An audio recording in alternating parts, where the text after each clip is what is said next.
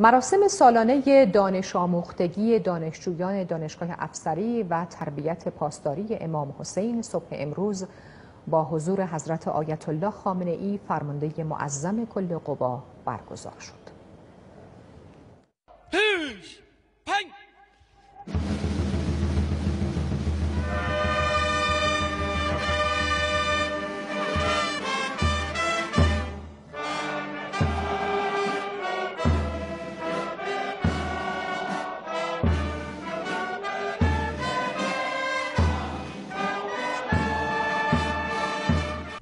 رهبر معظم انقلاب اسلامی در ابتدای ورود به میدان با حضور بر مزار شهیدان گمنام و قرائت فاتحه یاد و خاطره شهیدان دفاع مقدس را گرامی داشتند.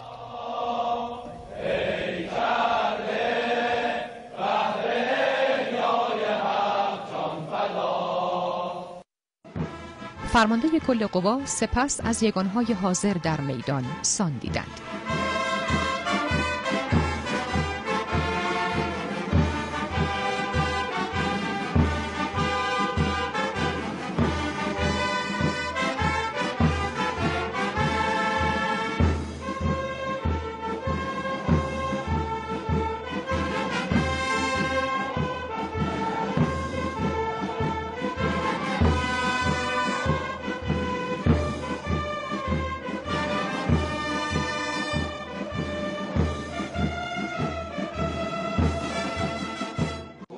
حضرت آیت الله خامنه ای همچنین جانبازان سرفراز حاضر در میدان را مورد تفقد قرار دادند و با تعدادی از خانواده های معظم شهدا دیدار و گفتگو کردند. میان دست مردان همیشه اوزواری در هنجری تاریخ استقامت برابر عمود و لبریز امروز در سنگر عشق به شوق حضرت آیت الله خامنه ای رهبر انقلاب اسلامی در این مراسم با اشاره به توطعه دشمن برای ایجاد شکاف میان نظام اسلامی و مردم همگان به ویژه مسئولان را به هوشیاری، ایستادگی، تدبیر، انسجام ملی و دوری از اشرافیگری فراخواندند و تأکید کردند. اگر معلفه های اقتدار ملی تقویت شوند و در مقابل دشمن سستی و تسلیم نشان داده نشود بدخواهان بار دیگر در رسیدن به اهداف خود ناکام خواهند ماند. رهبر انقلاب اسلامی با اشاره به آیاتی از قرآن کریم لازمه بی اثر شدن توطعه های دشمنان را صبر و تقوا برشمردند و افسودند انقلاب اسلامی ریشهدار و آینده دار است و دستیابی به آرمانهای بلند آن به صبر و استقامت نیاز دارد. ایشان همچنین گفتند تقوا به معنای مراقبت از خود در مقابل دشمن است و لازمه این مراقبت هوشیاری در برابر حیله های دشمن و اعتماد نکردن به او تدبیر و اقلانیت و پرهیز از سهلنگاری و سستی است حضرت آیت الله خامنه ای تاکید کردند اگر همه مردم و جوانان و همچنین مسئولان سیاسی، اقتصادی و امنیتی و نظامی این صبر و تقوا را به کار ببندند به توفیق الهی هیچ ضربه و صدمه ای وارد نخواهد شد. رهبر انقلاب اسلامی همچنین به موضوع معلفه های قدرت نظام اسلامی اشاره کردند و با یادآوری سلطه انگلیس و آمریکا بر ایران در طول 57 سال حکومت پهلوی گفتند با پیروزی انقلاب اسلامی قل و زنجیر از دست و پای مردم باز و طعم واقعی استقلال و آزادی چشیده شد. ایشان یکی دیگر از عناصر قدرت نظام جمهوری اسلامی را اعتماد به نفس ملی و تأثیرگذاری مردم در همه امور کشور دانستند و افزودند. این اعتماد به نفس ملی همراه با ایمان بود. ایمانی که همچون روحی در کالبد حرکت عمومی کشور زمین ساز زنده شدن امید و ایثار و فداکاری در جامعه شد که نمونه های فراوانی از آن را در دوران دفاع مقدس شاهد بودیم. حضرت آیت الله خامنه ای جرأت اقدام را از دیگر ثمرات ایمان و اعتماد به نفس ملی برشمردند و خاطر نشان کردند با این روحیه و جرأت سپاه جهاد سازندگی بسیج و حرکت‌های عمومی در کشور شکل گرفت و نیروهای مسلح جان تازه‌ای گرفتند و مجموعهای خدماتی و سازندگی و حرکت‌های پر افتخار علمی ایجاد شد. رهبر انقلاب اسلامی اقتدار واقعی را جوشنده از درون ملت و بر پایه استقلال و آزادی دانستند و افسودند این اقتدار نیست که برخی به بیگانگان پول بدهند و از آنها سلاح بخرند و انبار کنند اما حتی نتوانند از آن سلاح ها استفاده کنند و یا از آن طرف دنیا بیایند در کشوری پایگاه بزنند و خون ملت آن را بمکند تا اقتدار یک خاندان را حفظ کنند. اینها نمونه های حماقت و ذلت است نه اقتدار. ایشان با تاکید بر اینکه ملت ایران باید ضمن حفظ و تقویت عناصر قدرت خود از آنها استفاده به هنگام کند خاطر نشان کردند. سپاه پاسداران انقلاب اسلامی یکی از معلفه های قدرت است که باید از نظر کیفی روز به روز اعتلا یابد و از ظرفیت های فراوان آن استفاده شود. رهبر انقلاب اسلامی گفتند بعضی به ما میگن آقا شما در تشریح و توصیف قدرت ملت ایران مبالغه نکنید. من در جواب میگم ما مبالغه نمی کنیم ما مبالغه نمی کنیم ما واقعیت رو میگیم. بزرگترین دلیل برای اقتدار ملت ایران و قوت و قدرت ملت ایران اینه که چهل ساله که یکی از سپاکترین و بیرحمترین و رزلترین قدرت های دنیا یعنی آمریکا در مقابل ملت ایران مشغول کارشکنی و شرارت و نتوانسته است به این ملت زیانی وارد کنه و نتوانسته هیچ غلطی بکنه و ملت ایران راه خودش رو در پیش گرفته و پیش رفته و قوی تر شده. ایشان با تاکید بر اینکه علاوه بر دشمن خارجی دشمنان داخلی هم در طول این سالها مشغول تحرک و توطعه بودند گفتند از ابتدای پیروزی انقلاب اسلامی سه جریان معارض در داخل کشور وجود داشتند. جریان به اصطلاح لیبرال که دلبسته آمریکا و غرب بود. کمونیست های اسلحه به دستی که از هیچ اقدامی ابا نداشتند.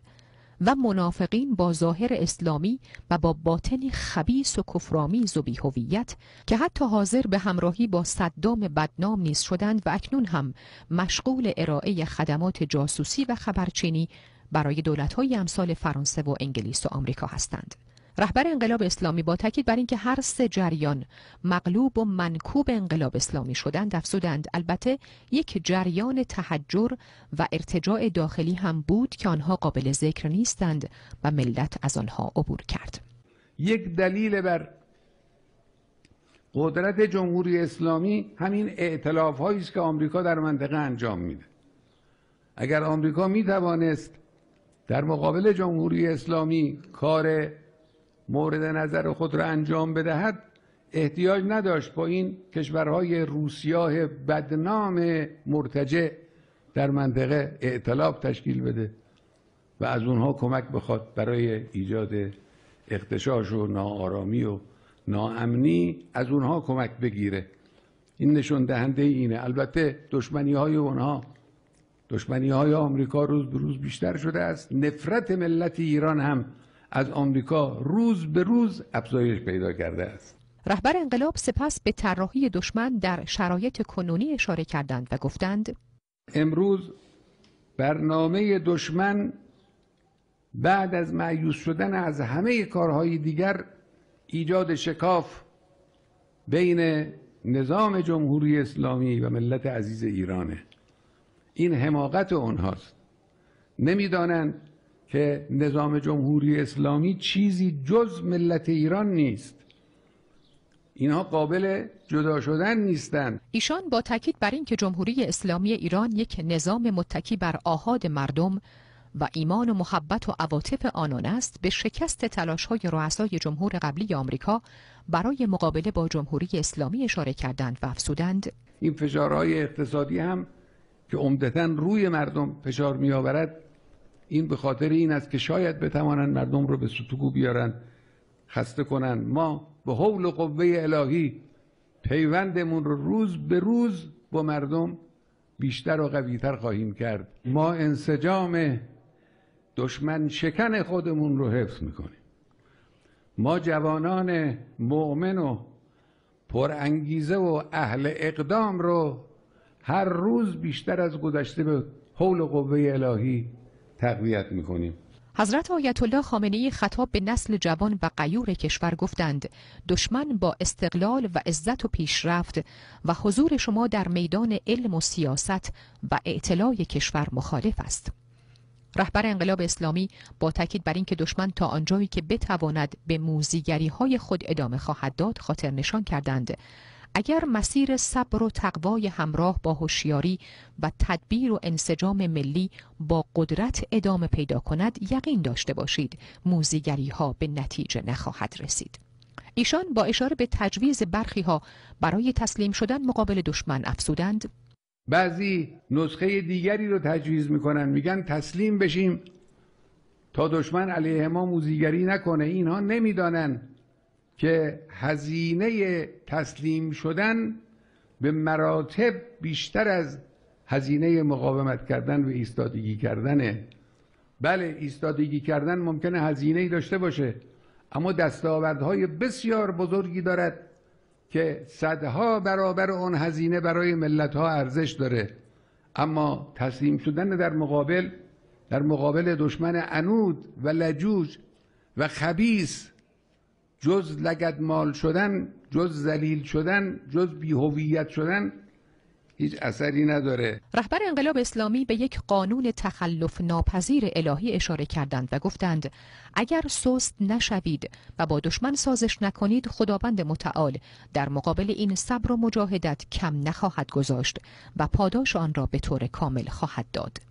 ایشان در پایان همه آهاد ملت ایران و مسئولان را به هوشیاری و مراقبت از کار خود دعوت و خاطر نشان کردند.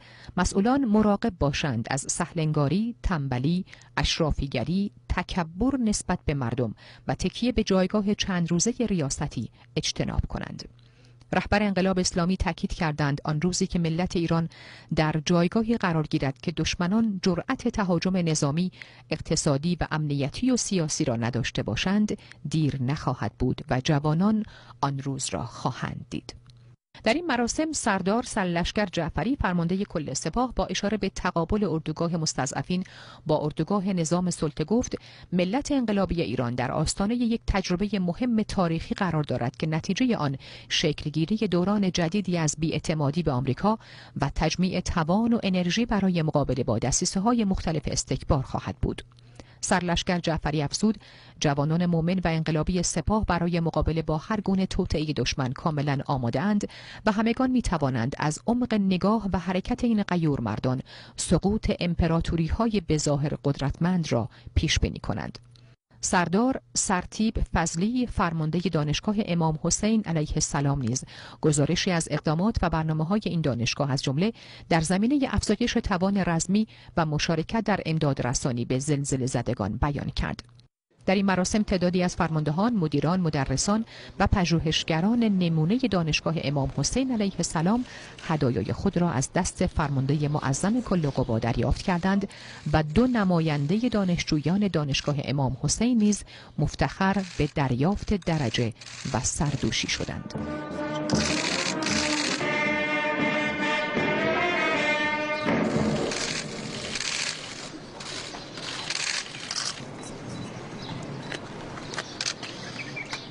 الله اکبر پاینده رهبر یا حسین.